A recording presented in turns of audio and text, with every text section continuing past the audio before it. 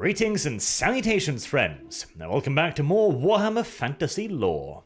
Since we've been talking about about magic recently, I figured we'd stay somewhat on the topic, but sidestep it a little bit onto something else that I haven't covered that much, and yet has a lot of really interesting lore that I do need to start examining a bit closer. Namely, the Tomb Kings, and more precisely today, the Lich Priests the reason why there are Tomb Kings in the first place, and the magic that makes it all possible. For the Tomb Kings, of course, are very different to the regular, quote unquote, regular, undead of the old world, in that the Tomb Kings and their priests possess all of the intelligence, all of the agency, and the memories of their previous lives making them living spirits clad in undead flesh, rather than the mere marionettes that are the undead puppets of the more usual undead sort. But how did this distinction appear? What was the idea behind having sentient undead in the first place? Where did it all come from, and how did they achieve it? Well, to answer that question, we have to go way, way, way, way back in time, thousands of years before the rise of the human empire of the Old World, to the first, and perhaps the mightiest of all human empires, Nehekhara. This vast and powerful empire, located in the southern reaches of the old world, uh, was a collection of city states, each ruled over by a local monarch, but all bound together under the overarching rulership of a single leader, situated in the nation's capital of Khemri. This had not always been so. The various city states had enjoyed de facto independence until they had been brought in line by the mightiest of all the kings, one Settra. He had brought all the other city states in line and formed Nehekhara. But unfortunately for Settra, despite all of his great achievements, despite his immeasurable wealth and innumerable armies, he was still but a mere man. And that was not good enough for Settra. The only thing more famous than Settra's achievements was his legendary greed. He wished for immortality. He wanted to continue to rule the lands that he had conquered for all eternity, and in order to do so, he founded the Mortuary Cult, a kind of uh, scientific institute to try and figure out how to defeat death itself. wow, that's. Uh, uh, that, that's quite the ask. the sheer balls on this guy. You know, imagine that being summoned to a meeting, the, the head magicians and the priests of Nehekharan society all being gathered up in one room to meet your feared legendary leader, and he basically starts the meeting by saying, So, I don't want to die. Ever. Fix it. and off you go. Ay, ay, ay. Where to begin? That was probably the question on everyone's lips after that particular meeting. But, seeing as if they failed, they would all be executed, it's not like they had much in the way of a choice. And, to be fair, the sorcerers and the priests of ancient Nehekhara were pretty damn good at their jobs, and they managed to extend the reign of Settra far beyond the usual realms of time for a human man. Especially considering the age in which he lived, this wasn't exactly 21st century society. Most people would probably be lucky to live past their 40s, and yet Settra trucked on for a hundred years plus. But true immortality was sadly beyond his grasp. The mortuary cults, despite making considerable progress, could not prevent the king's death. But the priests had one final gambit up their sleeves. Uh, One they launched as much, I think, to avoid the inevitable punishment of failure as anything else. They informed Settra that whilst they could not prevent his passing, they could bring him back. Once their rituals had been perfected and their magic honed to a greater degree, they would resurrect him as a de facto demigod to rule over a perfect golden future for all eternity. They promised him not only immortality, but utopia. Still wasn't quite good enough Settra, mind you, as he still died cursing the mortuary cult, but, vitally, he did not have them all killed before his passing, which I suppose was a form of uh, indirect endorsement. He had constructed before his death a massive pyramid, which would be filled with all of his treasures, all of his loyal servants, and his legions of warriors. Those fortunate enough to be resurrected alongside him when the promised future arrived. And so rose the next king to power, and he was given the exact same assurances as Settra, for the mortuary cult had still not unlocked the secrets of immortality, but they were making astounding progress. After a mere five generations of mortuary priests, bearing in mind that each generation lived significantly longer than the first, so this wasn't a question of, say, a few hundred years, it was probably a question of a thousand plus they eventually arrived at the generation of priests that simply just didn't die. Their flesh would rot, their skin would become dry parchment, and their eyes would become little more than hollowed out sockets, but they wouldn't die. And whilst this form of immortality wasn't good enough for the kings, they wished to reign over a golden utopia after all, as beautiful, near perfect divine beings, it did bring reassurances. It made the kings believe that maybe, just maybe, the priests could actually deliver on their promises. After all, if they had all eternity to work with, Surely they'd come up with a solution eventually, right? And this, unsurprisingly, made the priests of the mortuary cult the second most important individuals in all of Nehekaran society. Only the royals were of higher standing than the priests and the members of the mortuary cult were the only ones in Nehekaran society that could not simply be outright executed at the merest whim and say so of one of the royal family members. Which may not sound like much of a privilege, but bearing in mind, if you indeed live in a society where anyone can be, for any reason, at any time, simply just killed, on the say so of some royal brat, being the only people in that society immune to that power, that's still a fair bit of a privilege. And of course, the mortuary cult also wielded a great deal of political influence because at the end of the day, they were the ones responsible for bringing the kings back from death. And so even the kings didn't really want to get on their bad side, because after all, who knows? In a hundred years' time, long after your passing, perhaps they figure out how to bring everyone back and accidentally, whoops, they just forgot about you. How very, very unfortunate.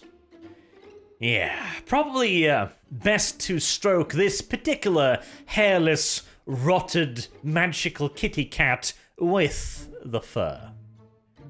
And with the cult's growing power and influence, of course, came hierarchy. because, of course. Within any organization that gains a degree of power, you're gonna find that those at the top will want to remain at the top. And in this case, the best way to do so was to ensure that the deeper, darker secrets of the mortuary cult were reserved only for those of the uppermost echelons and it was starting to become quite the treasure trove of knowledge as well. Whilst they had yet to perfect the art of bringing someone back from the dead, they had made considerable strides. First and foremost, of course, in their own forms that no longer perished. They could, of course, be destroyed, and if they were, their souls would be lost forever, and their, uh, physical exterior was less than aesthetically pleasing as the skin started to drop off their bones, but their intellects remained as sharp as ever. Their spirits remained intact, and that was an important first step in immortality. To perfect this yet further, they began by increasing their knowledge about the embalming process, because the aesthetics were important. If they were to bring the kings back from the dead, they would have to be preserved as much as possible. This process was in many ways similar to our world's version of embalming, although with a magical twist to it. Runes, scriptures, and magical spells were carved into the bones of the corpse and also inscribed into their sacred vestments. These would then later on act as foci for the magical energies that would eventually resurrect and reinvigorate, rejuvenate, and restore the body to perfection. Or at least, that was the theory. The magic in and of itself was complex and understood only in its most rudimentary of elements. The Lich Priests were of the opinion that what they were doing was harnessing the breath of the gods what the colleges of magic would refer to as the winds of magic, the Lich Priests believed to be the essence of their deities, and by harnessing them correctly, they could theoretically breathe new life into a corpse. No matter how withered or desiccated, it could theoretically be restored to its once ideal form, and perhaps possibly even improved upon. As of yet, they had been unable to actually do this, but they had been able to resurrect the long dead. And this was important because currently all they had done was prevent death from taking someone in the first place. The next step, of course, then, was a resurrection. Unfortunately, however, what they resurrected were not the actual people in question. When they brought back a body, they brought back nothing more than an undead puppet. A lifeless, soulless husk directed via the magical energies of the Lich Priest who had resurrected them. This obviously was not good enough for the Tomb Kings. They wished to be resurrected not only with their mental faculties and aesthetic forms, uh, they were certainly not going to be very happy at all if the Lich Priest started reanimating them as mindless puppets. If there was anything likely to break the power of the mortuary cult, it was rumors of that kind of nonsense getting out. And so the Lich Priest, understanding that there was very little to be gained from this, and everything to lose, decided that no, we're going to carry out these experiments on the lesser servants of the Tomb Kings. Lower levels of embalming techniques were carried out on the Tomb King's favoured servants, on their warriors and their favoured concubines, for of course, what is an eternal afterlife without a little bit of company, eh? These would then be resurrected along with the king, but in a more limited form. They might be eternal servants, for example, and in that case, it didn't matter if they were just bones.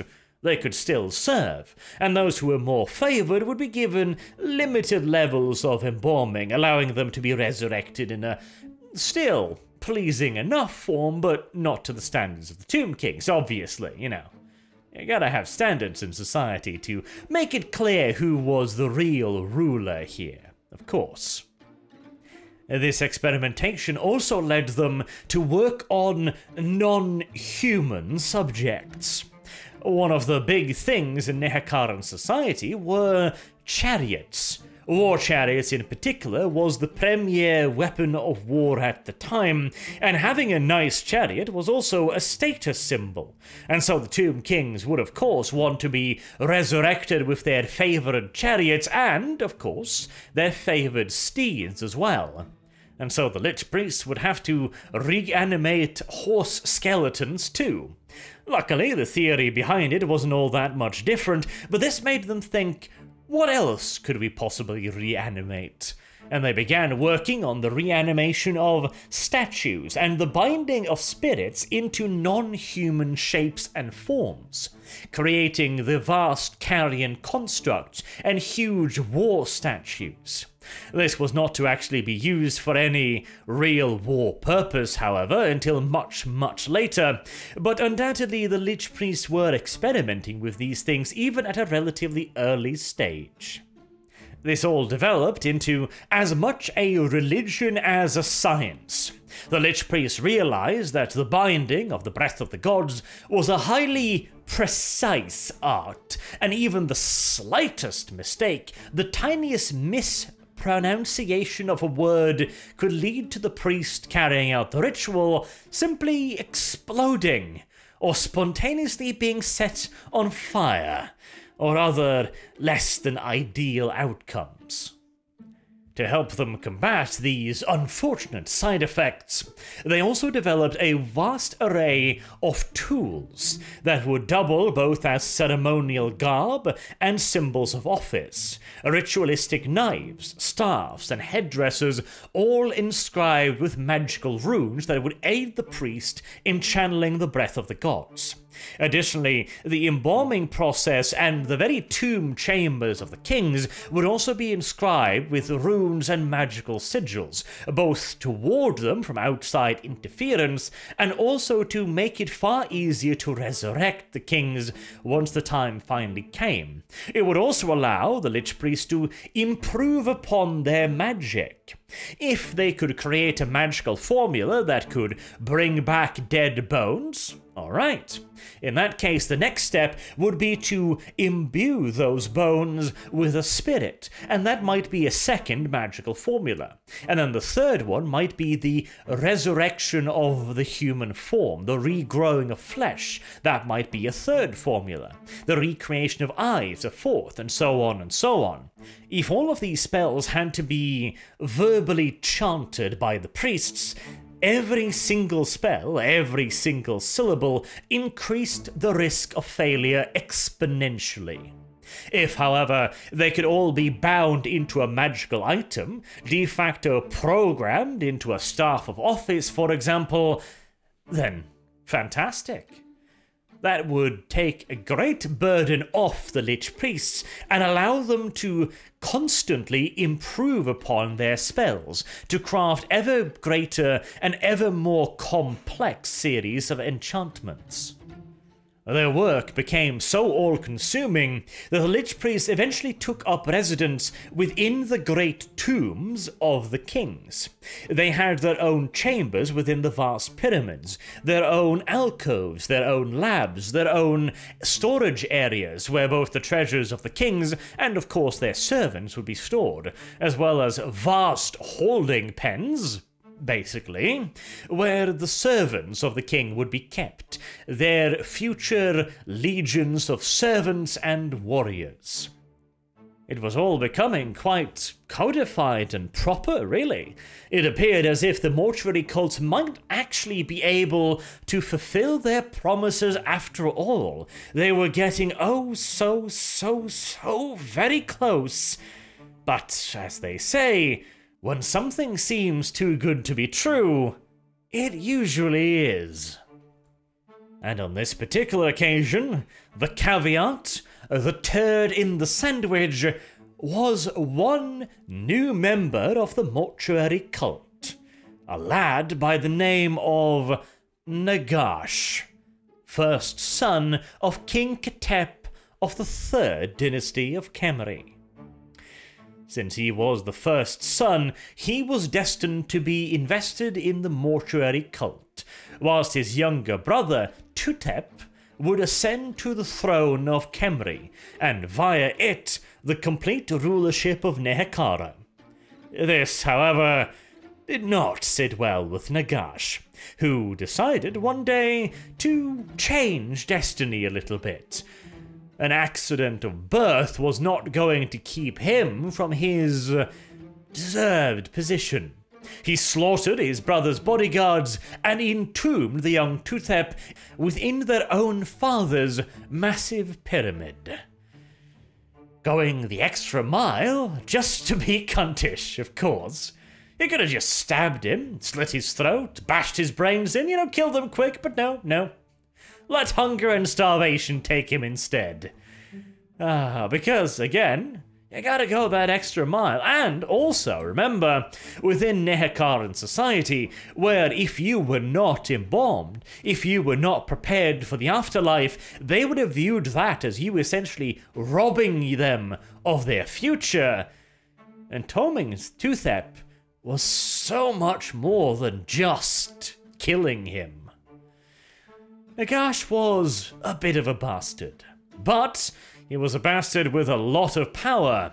He was now not only the head of the mortuary cult, but also the king of Nehekara. Never before had so much martial power, so much authority, and so much knowledge been focused within one single individual. But to an extent, Nagash did kinda deserve it. He, after all, managed something that the priests had not. He succeeded where they had failed. He created the elixir of life, the key to everlasting immortality. Now, yes, it had a few minor caveats here and there, like, for example, binding anyone who drank it inevitably to the will of Nagash, but hey, Details, details, and to be fair, it was a superior version of the elixir that was to be created later in Lahmia that would result in the modern day vampires. And so Nagash's rule had been thoroughly cemented. Not only did he now have a cadre of immortal and extremely powerful lieutenants who literally could not betray him, he was also in possession of the power of the mortuary cults and of Nehekara. All that was left now was to cement his rule permanently and he would do so via the construction of the Great Black Pyramid of Khemri. This vast edifice would be laced with all his vast knowledge to be a focal point of magical energies. It would concentrate the breath of the gods and enslave them to Nagash's will. A plan so thoroughly steeped in hubris and ambition it could do naught but succeed, surely. And to be honest, it kind of should have. Nagash's undoing was the fact that despite being immortal, he was too impatient.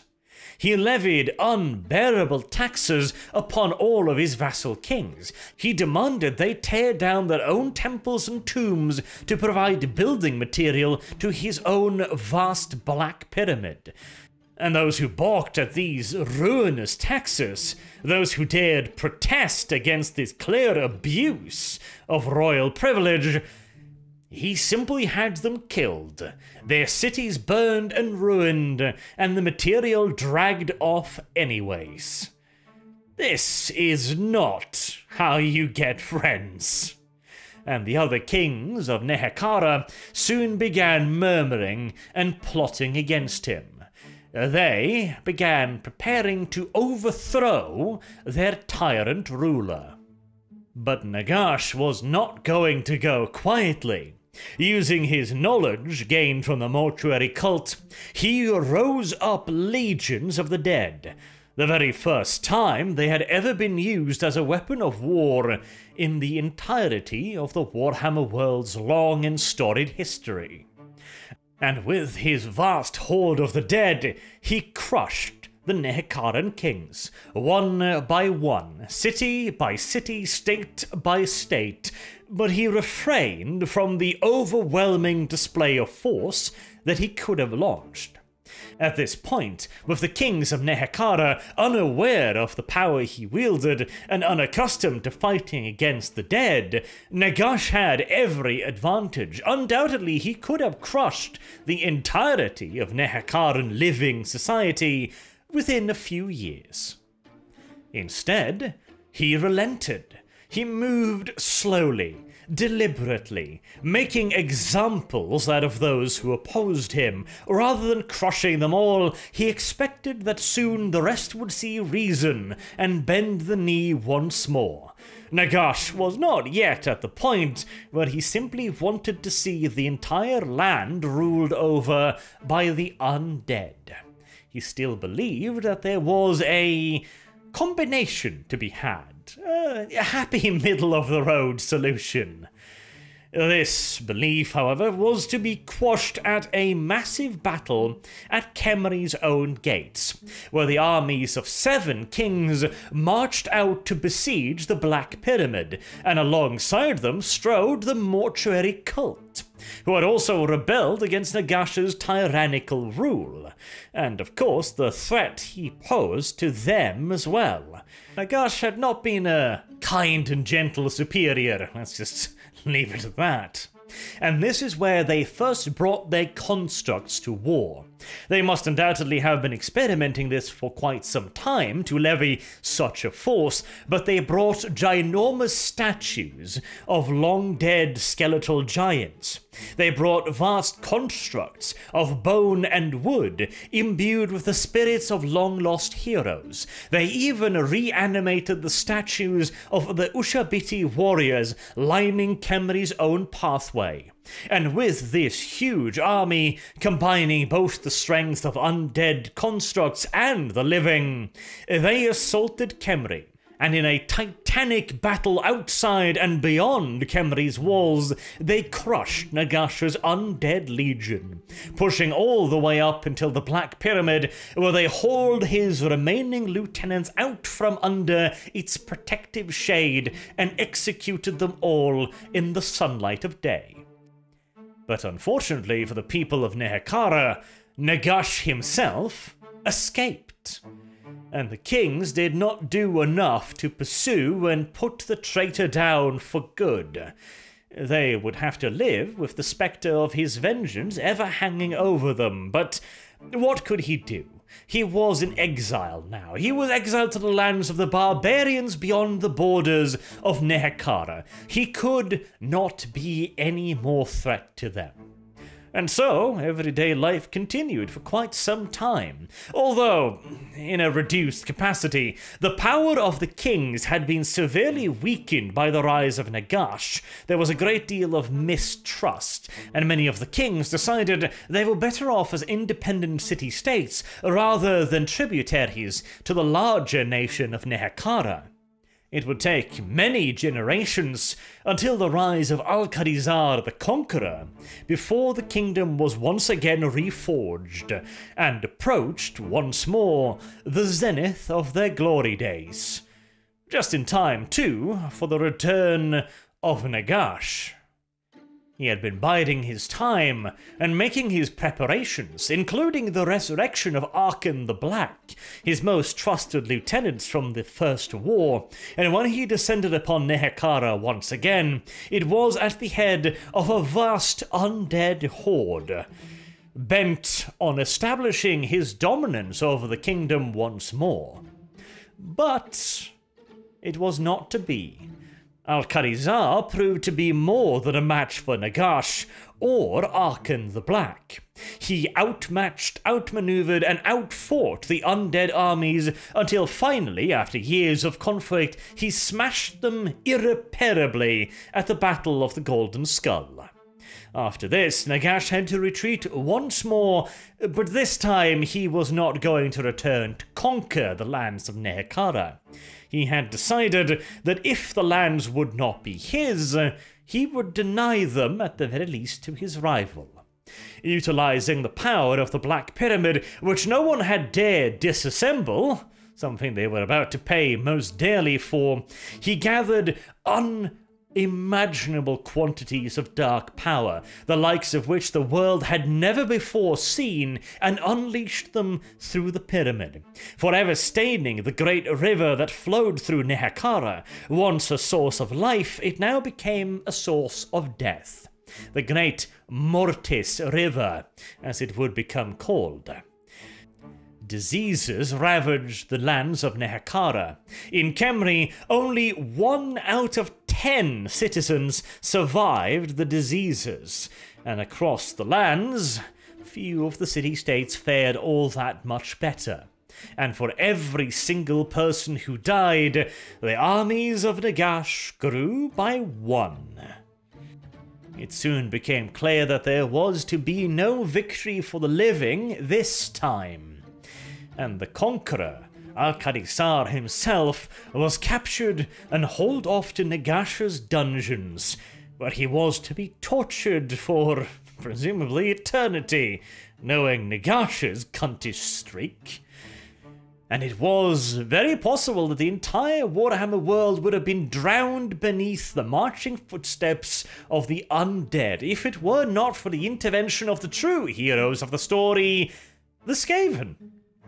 Who decided that they didn't like the idea of undead legions trampling through Skavenblight, and so they snuck into Alcadizaar's cell and gifted him a blade forged with warpstone, the Fellblade a weapon of such unimaginable destructive power that even just wielding it would slice away at the bearer's soul. A weapon which Alcadizaar grabbed greedily and, freed from his shackles, was guided by the kind, gentle, furried creatures to where Nagash lay prostrate, attempting to recover from the vast magical energies he had unleashed. Alcadizaar slew the necromancer, chopping his body into a thousand tiny pieces and tossing them into a furnace, just for good measure. And so, the world was saved. At least partially. This is where the Tomb Kings finally come into the picture. For you see, the vast magics unleashed by Nagash, whilst they had not penetrated past the wards and protective measures carved into the huge pyramids of the kings, they had broken some of them open. They had interfered with the wards. And slowly but surely, the dead kings began to stir and they were horrified at the future that they awoke to. This was no golden paradise. Outside was nothing but death, destruction, and fires, broken pyramids, and the scattered bones of thousands. Quite the far cry from the land of milk and honey they had been promised by their priests. And understandably disappointed, they were all a little bit angry at having been screwed so very, very thoroughly. And you also got to remember, uh, this is a collection of hundreds of people that in life were completely and utterly uncontested. They were at the absolute top of the pyramid once they were alive. Now they all emerge in the sunshine at once, with armies at their command. I think you can guess what the next phase in this was to be. Yes, yes, indeed. Hundreds of tiny little reconquisters, as each and every king decided to try and reconquer his kingdom war on a near unimaginable scale as tens of thousands of undead troopers marched out from innumerable tombs and pyramids and engaged one another in a completely uncontrolled, chaotic, free for all melee. It was chaos of the purest sort, and nobody seemed to be winning. Not like there was going to be any outside intervention either. Even if there were still human rulers alive in the lands of Nehekhara, what little army they may have had left after years of war against Nagash would have been completely and utterly decimated by the magical plague that he unleashed. There was no stopping this apocalypse of the dead. And so the mortuary cult decided to intervene once more by awakening the only king that could bring order to everything else. As it began, so it ended with the reawakening of Settra, now known as the Imperishable. He had by far the largest army, his realm had been by far the richest, and when he marched out in the desert winds, he brought forth uncountable legions to dwarf those of any other king. Not to mention the loyalty of the mortuary cult. It didn't take long for Settra to teach all of the other kings who Daddy really was. And those who didn't submit, he simply destroyed. And he made sure of, in fact, he made a point out of destroying them to the point where there was no resurrection.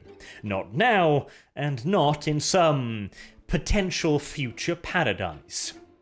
And after having secured the lands once again, like he did once so long ago, he determined that the threat of Nagash was still paramount, and if it was not Nagash, then it would be outside invaders, greenskins, looters, and all manners of perfidious nonsense that had grown forth across the world since he had ruled.